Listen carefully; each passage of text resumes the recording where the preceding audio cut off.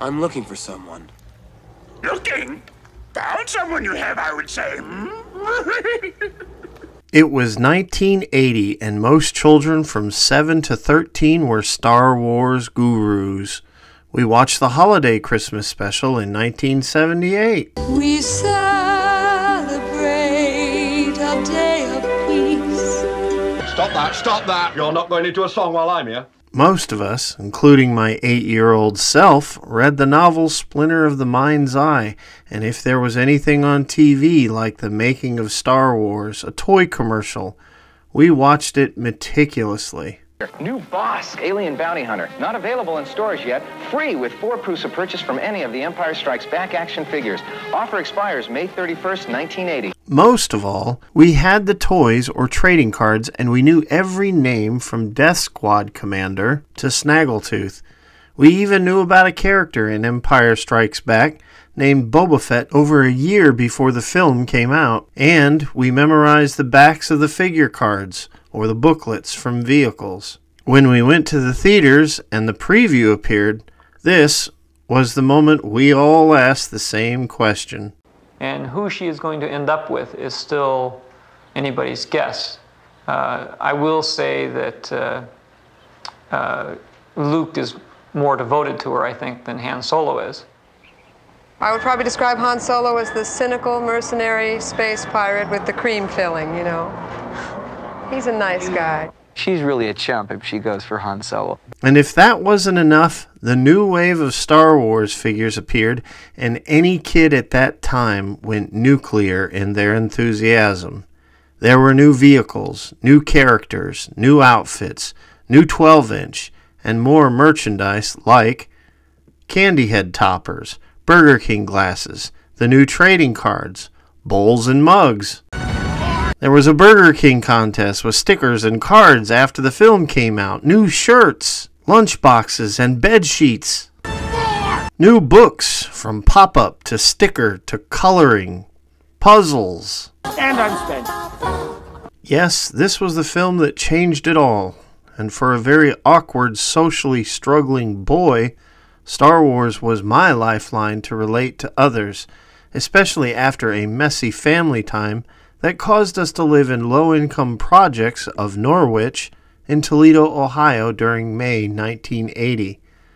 It was not the best place for a confused boy to grow up, but Star Wars inspired me, and it was a tool to help me communicate with kids my age and gave me the escape I needed to deal with difficult situations at home. So when The Empire Strikes Back was released on May 21st, 1980, my mother knew the only thing I cared about in the universe was seeing that film, and during its opening week, we went to the Showcase Cinemas on Secor Road between Central and Monroe, and I was floored by the film.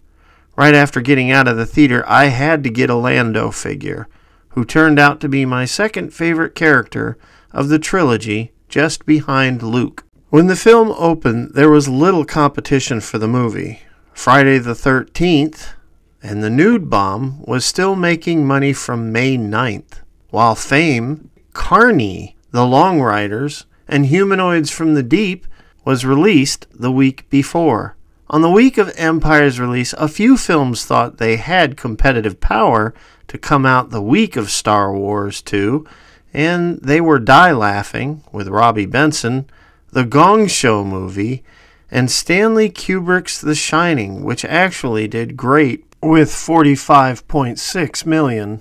Yet Empire had nothing to worry about because its dominance was assured thanks to the young audience salivating for it. And when the film was viewed, we wanted more, and thanks to the continuing merchandise for the next two years, we got more in the form of cards and figures and that coveted AT-AT I never got as a child. But don't you worry, when I got older, I got my AT-AT. Oh, yeah.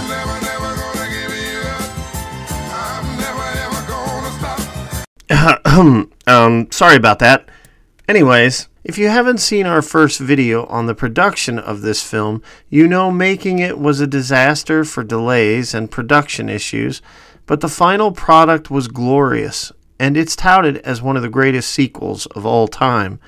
And why is that? Well, we're going to take a look at it and a lot of things behind the scenes. In our channel's fashion, we'll do a deep dive into this film, and there is a lot to discuss. At the start of the film, the tone is cold and desolate, and it represents the journey that will be frigid and lonely for all the characters involved. Now, it is true the Wampa scene was written specifically by Lucas early on to explain possible scars Mark Hamill had from his car crash in January 1977. Yet, for some reason, Lucas is sometimes cagey to admit it even though his original story notes for Empire Strikes Back specifically read Luke crash in beginning, scar on face. Lucas even mentions this in his commentary for Empire Strikes Back. Mark, at the end of New Hope, had been in a car accident, and I knew that uh, Mark was going to look a little bit different than he did in the first film, but my feeling was that there's some time has passed they've been in the rebellion, they've been fighting, that sort of thing, so the change was justifiable. But by the end of the commentary, he downplays the impetus of writing the scene. There's a scene in the beginning of the film when Mark gets beat up by the monster, which helps even more. But that really wasn't the main emphasis of why we wrote the monster in the beginning.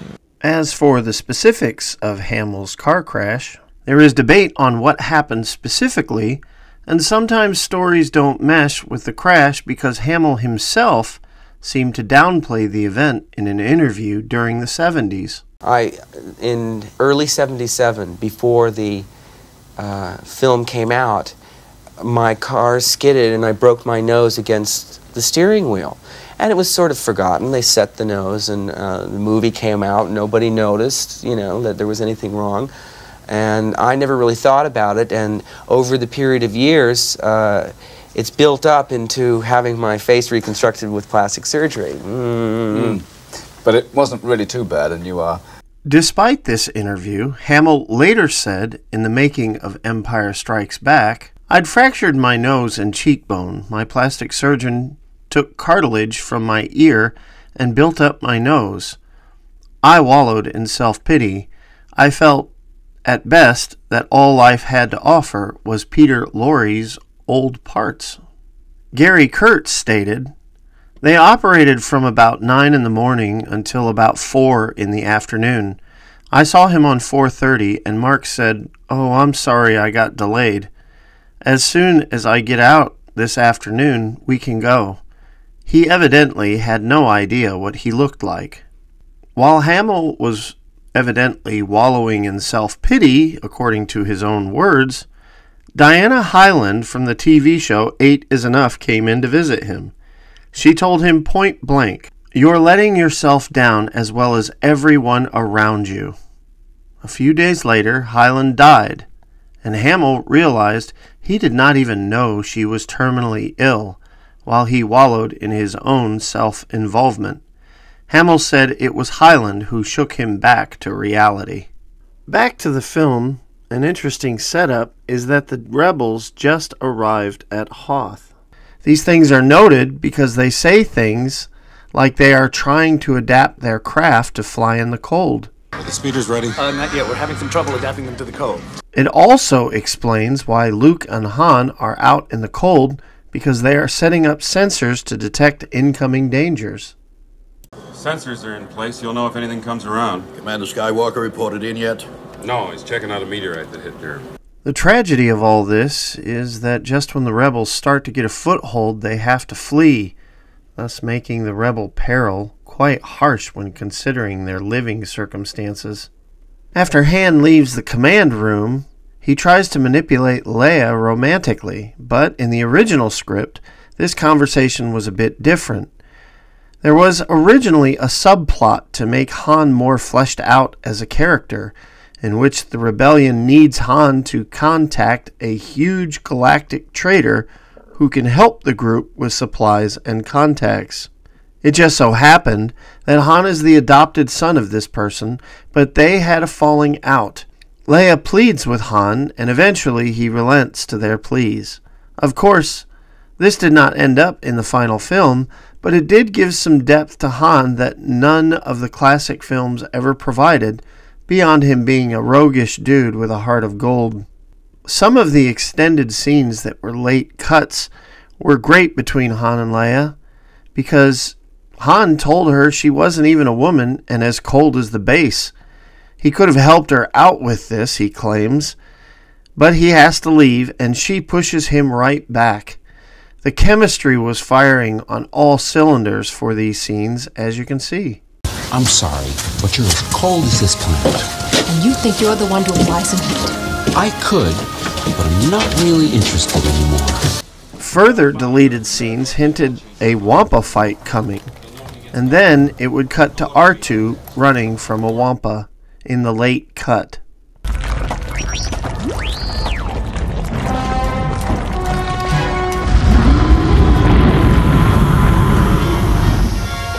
Now, before we go into the official deleted scene for the Wampa raid, it was a little different in the Brackett draft. When Luke returns from the Wampa, he warns the rebels about the creatures, and they have not encountered them yet, even though there have been some sightings. Instead, the Wampa attack would occur just after Luke's recovery.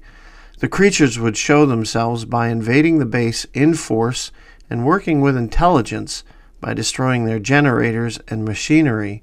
Even Chewbacca would get into the fight with the creatures and go hand to hand with one of them.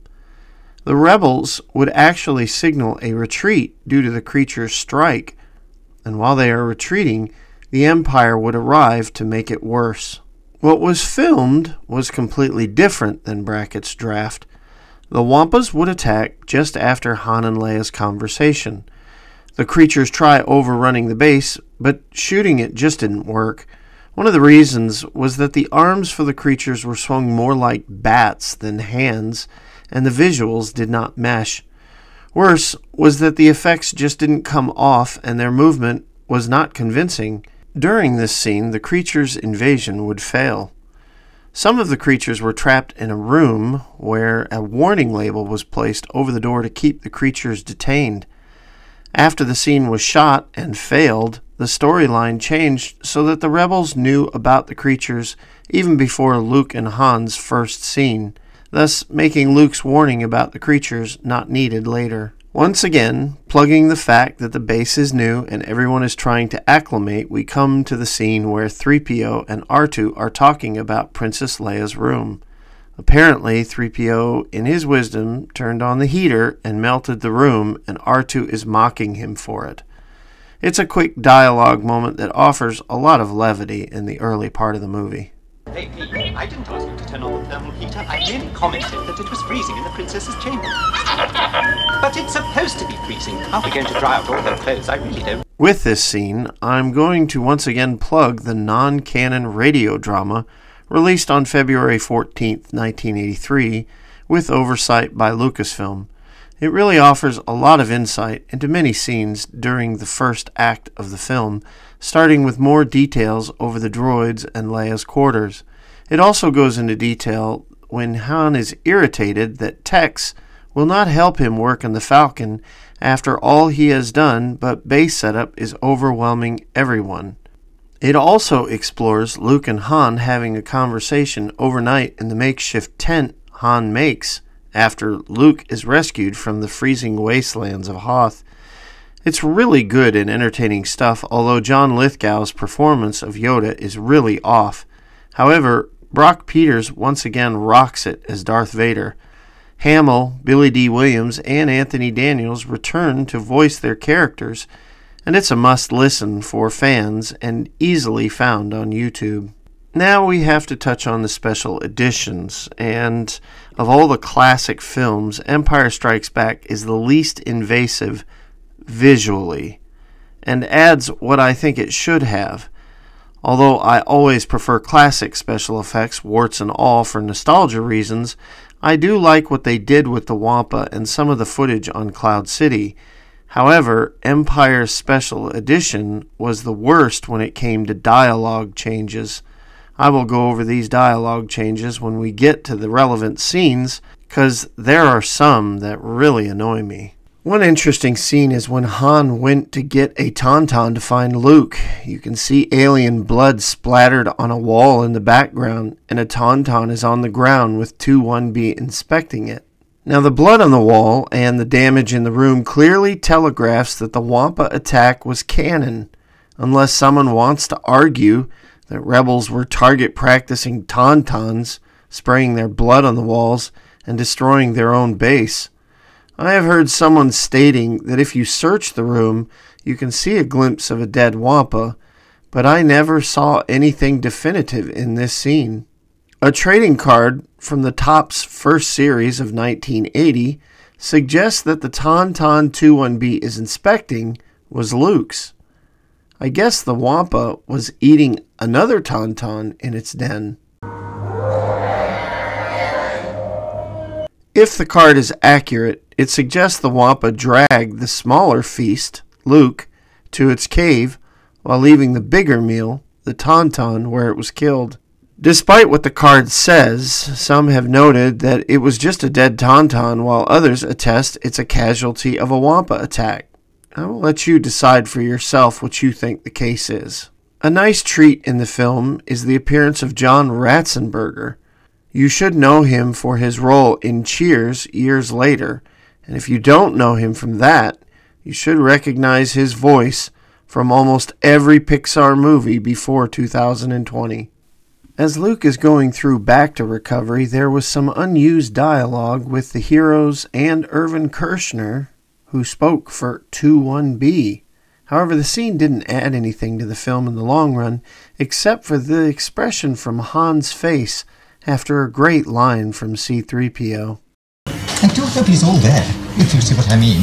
It's most unfortunate that Master Luke got short circuit. When Luke recovered from the ordeal, there was a face mask prop that was originally used but then cut. But the big scene that was cut was when Luke and Leia was going to kiss while Luke professed his love for her. In the theatrical cut, there was only the kiss Leia gave Luke and none of the romantic stuff. However, in the official deleted scene, we have Luke talking about the idea of never seeing Leia again, and he wants to say something to her very seriously, which is easily implied as love. This is concreted when they move in for a kiss, but C3PO interrupts them. I might never get the chance. What? Tell me.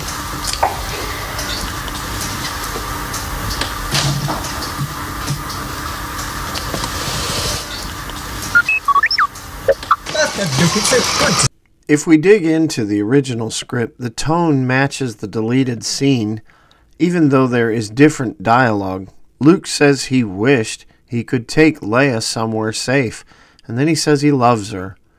There is a moment where they kiss, but then she rejects him, much like Padme tried with Anakin, as she states she has too many responsibilities. As you can see from Brackett's script, Luke is very passionate. Now remember, at this time, Leia was never meant to be Luke's sister, as we have covered all scripts before the release of this movie. From interviews before Empire Strikes Back, Lucas and Kurtz stated that Luke's sister was the core of episodes 7, 8, and 9, and that she was in another galaxy. Lucas's story notes confirm this further when he wrote that his lost sister is in fact a trained Jedi somewhere else. In 1980, it was not weird that Luke loved Leia. In fact, everyone wondered who she would go for, and I was strongly in the Luke camp as an eight year old. When I played with my figures before the film came out, I always thought Luke and Leia was in love. Oh, the innocence of childhood. Must have been that kiss for luck. For luck. Another thing I will mention is some photos of Luke and Leia on the set in romantic poses. I can't find much information about these photos, and Luke would have only been in his Hoth gear before Luke is attacked by the Wampa. It is quite possible that such photos were fake out images, or film seems to trick possible spoilers of the film into thinking Luke hooked up with Leia. It's most likely these are just publicity stills. Whatever the case, I thought it noteworthy to cover these pictures, whether they were filmed or not. It is then that Luke says he's planning on going to Dagobah, and Leia is upset he is planning on leaving her too. She continues to push the Wampa plot by saying this. Calm down. Tell me about Han. Oh, he's got to pay off that criminal he's in hock to. Jabba the Hutt. You know, I could get more loyalty if I went down the hall and recruited some of those ice creatures. Although Luke was rejected, Treat Williams was not, and he came to London with Carrie Fisher during the shoot to be with her. Treat got in costume with the blessing of the producers and is one of the shots in the interior of Echo Base. I personally never identified Treat in the film, and it's possible his scene was deleted, but John Morton, who played Dak Ralter, said this about it. Well, Treat Williams decided he was going to come and hang out on the set, which he did, and he appeared in those ice planet scenes as one of the lieutenants or officers in the rebel forces. It would be nice to know specifically where he appeared in the background, but as of yet, it's still a mystery to many like myself. The good thing is that there are many pictures of him in costume as well as him messing around with Carrie. An early story problem was to figure out how Luke would find Dagobah. Since Alec Guinness was not likely to return to his role, it was originally conceived that Luke would find a message from Ben and in the original script, it was in the form of a memory chip hidden in his lightsaber hilt. As you can see in the original script, C3PO thinks he broke Luke's lightsaber. Closer inspection reveals it's a memory crystal. After Guinness agreed to return, this story element was dropped, and the film is better for it. Another unused shot was where Han is yelling at Chewie and Leia shows up. I'm not sure where this would have fit in the film and was best left out. Touch anything! Problem? Thanks for your concern. When Rieekan sends Han out to deal with the probe droid, he says, Send Rogues 10 and 11 to Station 38. Once again, this is a nod to Lucas's THX 1138. I love finding these Easter eggs in this film, by the way. After the probe droid is destroyed, the rebellion knows their goose is cooked, but in the original draft, Vader found out where the rebels were by a traitor who was seeing strange things at the Hoth system and told the Empire for reward money. It's good they changed this because it would have diminished the long reach of the Empire in this film. On the way to get the rebels, what was also in the early draft was when Vader talked about Skywalker to one of his officers. Vader muses over past betrayals after mentioning Skywalker's father. For the theatrical cut, Vader killing Ozzel is completely logical, and the surprise of everyone around Vader, wondering if he has the power to do this, makes sense if you understand the character from the 1977 film. I cover this in my Star Wars video, so if you don't get what I'm talking about here, go back and watch that video. Although Vader was not always intended to be Luke's father, the completed arc of the character is really impressive when putting the prequels into account. Now, the weirdest toys made for Kenner figures in 1981 and 82 were called mini rigs, and as a child, I never found much interest in them because they were not represented in the film. However, in production videos, you can actually see one that never made it into the final cut during the Rebel preparation for the Imperial arrival. It may not look like the toys, but it was a mini rig of sorts. One of the things that makes Empire Strikes Back so engaging is the Empire. They are so threatening and methodical. The film also understands this, as the first 40 minutes is nothing but the rebellion evading the Empire and then getting decimated by it.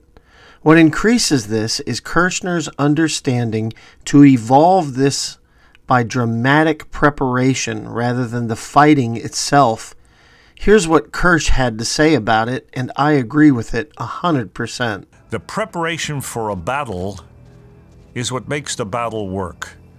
The battle itself, you expect. You expect the action, you expect to see a lot of violence, but the preparation gives you the buildup, the emotion to be interested in it. Another nice touch was that Wedge returned in Empire, creating more continuity to the classic film. Another similar continuity thread that extended into Return of the Jedi was the ATST Walker, or Scout Walker. You can see glimpses of these in the Battle of Hoth, but most remember this vehicle from Endor in Return of the Jedi. The final deleted scene concerning the Wampa story thread is when Han and Leia were fleeing the base. On the original preview for the film, 3PO tore a warning sticker off the door where Wampas were detained, and ignorant snowtroopers would then open the door and one of them would die. Another deleted scene had General Veers dying when a snowspeeder kamikazes his vehicle into the walker. The scene is pretty cool, but I always like the idea of Veers out there because he's still a tactical threat to the rebellion. But that's just a fanboy's desire. In the early cut, dated October 17, 1979, there was a scene where snowtroopers managed to succeed in blasting the Millennium Falcon's hyperdrive before being killed by the guns. Thus, when Han tries to jump to light speed and says, It's not my fault, he's right. They had fixed it before the attack, and it was taken out, unfortunately. This would have been a nice touch if left in the film. The asteroid chase is a beloved cinematic scene, and the grace of the Falcon in such scenes have always mesmerized me. There are small details, and one of them is when a TIE fighter is struck by an asteroid, you can see the pilot spinning out of the craft. For now, we are at the end of another video. Baba said there's my magic shoes. Baba said they'd take me anywhere. Of course, Baba used to beat me with rubber hose, call me retard. Dude, please stop. Stop, okay? My apologies for my harsh voice, as I had just had a bout with COVID for several weeks and it affected my voice. But that didn't stop us from keeping videos on schedule. We're so glad you came, and please subscribe as it really helps the channel grow.